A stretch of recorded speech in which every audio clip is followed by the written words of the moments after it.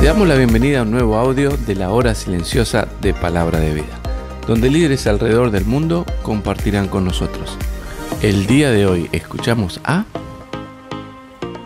¿Qué tal? ¿Cómo estás? Es un gusto para mí poder compartir con vos el comentario del devocional de la hora silenciosa para el día de hoy. Mi nombre es Josué Clauser y vamos a juntos compartir el pasaje que se encuentra en el libro de Lucas, capítulo 6, versículos 12 al 26. Y comienza la primera parte en esta sección y dice el versículo 12, en aquellos días él fue al monte a orar y pasó la noche orando a Dios.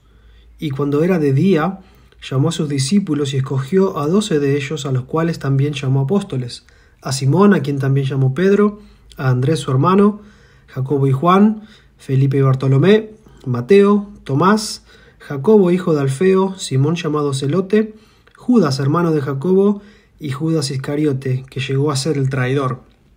En esta primera sección del texto que tenemos para el día de hoy, vemos que Jesús elige a los discípulos con los cuales va a desarrollar su ministerio terrenal. Y lo primero que llama la atención aquí en el texto es el versículo 12, donde se nos dice que él pasó la noche orando. Y la pregunta que me hacía mientras leía el texto es, bueno, ¿cuándo fue la última vez que yo pasé la noche orando? Y si soy sincero, la verdad, creo que nunca hice algo así. Bajando un poco la pregunta, quizás podríamos decir, bueno, ¿cuándo fue la última vez que oré tan fervientemente? Quizás no pasé la noche entera orando, pero ¿cuándo fue la última vez que oré tan profundamente o tan fervientemente por algo? Y acá tenemos una enseñanza práctica para nosotros en el día de hoy, que antes de tomar la decisión tan importante aquí Jesús en el texto de elegir a sus discípulos con los cuales iba a servir, a lo largo de su ministerio terrenal, él oró toda la noche. Querido oyente, querido hermano en Cristo, ante cualquier decisión importante, ora, ora a Dios. Que la oración no sea el último recurso, que sea la primer reacción. A veces nos encontramos en situaciones donde uno puede decir, bueno, ya lo intenté todo, ahora me queda orar solamente, cuando tendría que ser al revés. La oración no tendría que ser el último recurso, sino nuestra primera reacción ante una decisión importante, ante un momento difícil. Ora, ora al Señor. Y continúa el texto en la segunda sección del texto que tenemos para desarrollar hoy. Versículo 17 dice, y descendió con ellos y se detuvo en un lugar llano en compañía de sus discípulos y de una gran multitud de gente de toda Judea, de Jerusalén y de la costa de Tiro y de Sidón, que había venido para oírle y para ser sanados de sus enfermedades. Y los que habían sido atormentados de espíritus inmundos eran sanados, y toda la gente procuraba tocarle, porque poder salía de él y sanaba a todos. En esta segunda sección de la historia del relato que estamos viendo juntos hoy, fíjate, me llama la atención el versículo 17, donde en dos veces enfatiza Lucas de que él estaba con ellos, dice el versículo 17, y después lo vuelve a decir, estaba en compañía de sus discípulos. O sea, nos quiere dejar bien en claro que los discípulos estaban con Jesús en este tiempo y ellos estaban viendo y estaban aprendiendo mientras él ministraba a la multitud. Y este es el verdadero discipulado. Comienza con la lección de aquellos que serían los doce apóstoles. En ese momento comenzaron siendo sus discípulos y aquí Jesús empieza a modelar delante de ellos lo que querría para ellos en un futuro y lo que iba a esperar de parte de ellos, que era el servicio hacia las personas. Y este es el verdadero discipulado, cuando una persona está cerca de otra para aprender en el día a día cómo ministrar y cómo crecer en el, en el servicio al Señor, pero no solamente en el servicio, sino esa transmisión de vida. Y en el versículo 17 y versículo 18 también se nos dicen que eh, los enfermos eran sanados y los que tenían espíritus inmundos también eran sanados. Y esto es clave, especialmente en el contexto en el que está el pasaje, porque estas eran manifestaciones visibles de un poder invisible. Lo que Jesús estaba haciendo aquí eran evidencias, él estaba mostrando credenciales que él comienza aquí a presentar delante de la gente, revelando su verdadera identidad.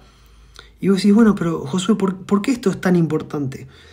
Mira, más allá del alivio que tenía, obviamente, para aquellos que eran sanados, porque sus enfermedades eran sanadas, físicas, eh, Esto era importante porque también las necesidades espirituales eran sanadas y esto fue profetizado en el Antiguo Testamento como las señales para que las personas pudiesen reconocer al Mesías. En otras palabras, lo que está sucediendo aquí es que Jesús estaba declarando en voz alta a través de sus hechos, yo soy el enviado de Dios, soy el Cristo. Y las personas eran sanadas y esto revelaba justamente la identidad del Señor Jesucristo. Y el texto, versículo 19, nos decía que la gente procuraba tocarle porque poder salía de él y sanaba a todas las personas. Indudablemente tenemos que entender este versículo a la luz del contexto. Y era la presencia física de Cristo en su cuerpo sobre la tierra y el ministerio que comenzaba a desarrollar. Y termina la última parte del pasaje, versículo 20 al versículo 26, y dice la palabra de Dios que alzando los ojos hacia sus discípulos, les decía, bienaventurados vosotros los pobres, porque vuestro es el reino de Dios. Bienaventurados los que ahora tenéis hambre, porque seréis saciados. Bienaventurados los que ahora lloráis, porque reiréis. Bienaventurados seréis cuando los hombres os aborrezcan, y cuando os aparten de sí y os vituperen, y desechen vuestro nombre como malo, por causa del Hijo del Hombre. Gozaos en aquel día y alegraos, porque he aquí vuestro galardón es grande, vuestro premio es grande en los cielos, porque así hacían sus padres con los profetas. Mas hay de vosotros ricos, porque ya tenéis vuestro consuelo. Hay de vosotros los que ahora estáis saciados, porque tendréis hambre. Hay de vosotros los que ahora reís, porque lamentaréis y lloraréis. Hay de vosotros cuando todos los hombres hablen bien de vosotros, porque así hacían sus padres con los falsos profetas. Indudablemente en esta última sección del texto encontramos un texto lleno de contrastes. Vemos un claro contraste entre un presente lleno de pruebas frente a un porvenir lleno de paz. Fíjate, ahí a la luz del texto podemos ver que Jesús le está diciendo, bueno, va a haber momentos donde la gente te va a aborrecer, vas a ser bienaventurado, vas a ser bendecido.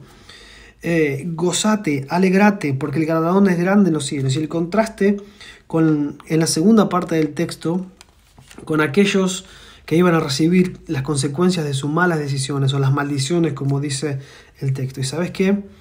Estas circunstancias difíciles frente a la condición de calma y de tranquilidad es el contraste que vemos. Vemos un contraste entre la necesidad y la saciedad. ¿Sabes qué es esto, querido hermano, querido oyente?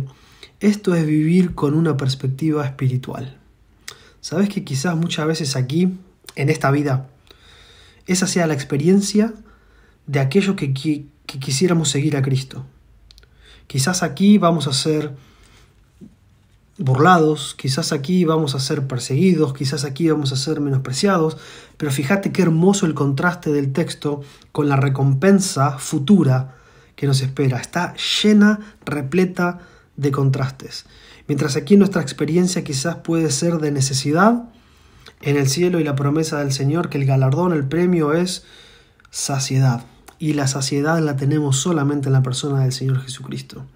Quizás los discípulos no lo entendían en esto, en ese momento, pero Jesús aquí les estaba anticipando lo que sucedería en un futuro no muy lejano.